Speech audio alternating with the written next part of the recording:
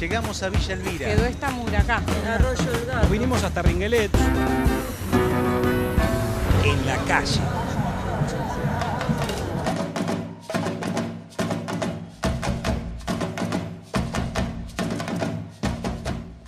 TV Universidad llegó hasta el barrio Santa Teresita, en Berizo, donde hay un terreno con más de 220 lotes esperando a que los beneficiarios del Procrear del 2013 puedan construir. Bueno, contanos qué es lo que falta para que finalmente los vecinos de este barrio vengan, empiecen a trabajar y tengan sus casas.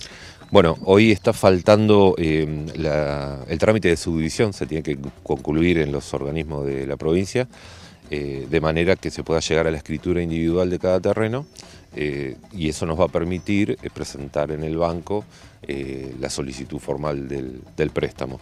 Esos trámites al día de hoy se encuentran eh, un poco atrasados, se dilató en el tiempo en esta gestión porque había unos errores en cuanto a la presentación.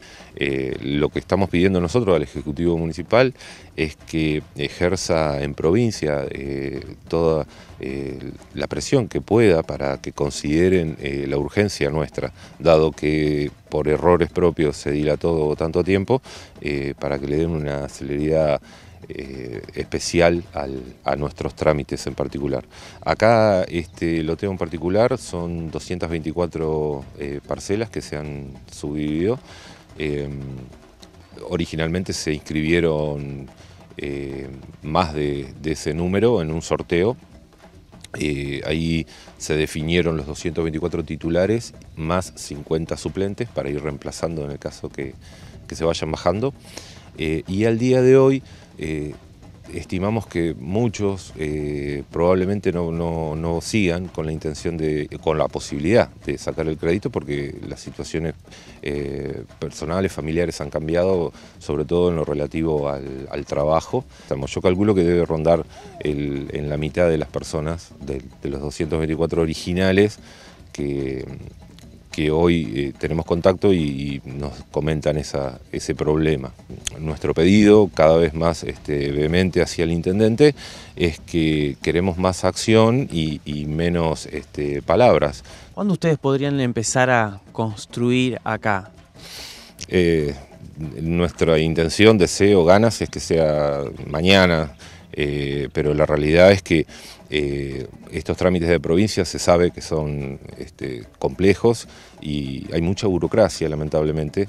Eh, no, se puede explicar cómo el, propio Estado, que es el que impulsa el trámite, se encuentre con tanta burocracia. Toda la obra de infraestructura está faltando el 10% de la obra de cloaca, que es la, última obra que queda por finalizar que también es eh, fundamental e indispensable para poder establecernos en el barrio.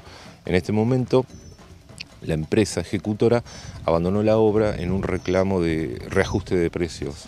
Hace cuatro meses que está parada la obra. Le estamos pidiendo alguna solución eh, pronta a eso porque no, no estamos teniendo respuestas de- que se llegue a un acuerdo con la empresa.